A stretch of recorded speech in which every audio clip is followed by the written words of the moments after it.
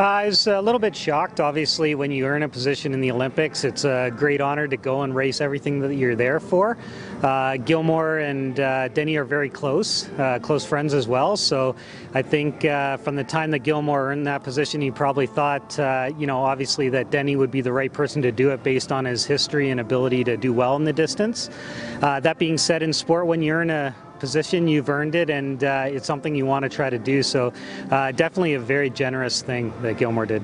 For sure, Denny took that opportunity for the best of it. Like I, like he was probably extremely thankful he was getting that chance from his teammate. And I mean, like speed skaters, like any other team, it's like there's a fraternity. You know, they look for each other. They want what's best for each other.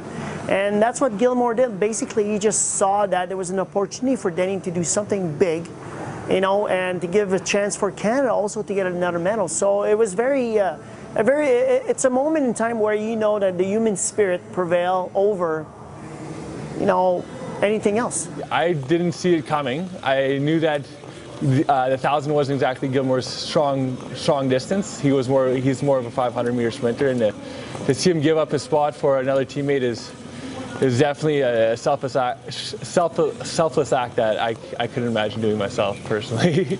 I think a lot of people were really surprised by it, and a lot of people were like, "Why would you do that? You know, you only you're now you're only in the 500." But um, you know, what he did was, like Alex said, it was just so selfless and probably the most Canadian spirit act that I've ever heard of. Like this is for sure going to go down in history. I think it was a silver moment for uh, Denny Morrison, but it was a golden moment for uh, Gilmore.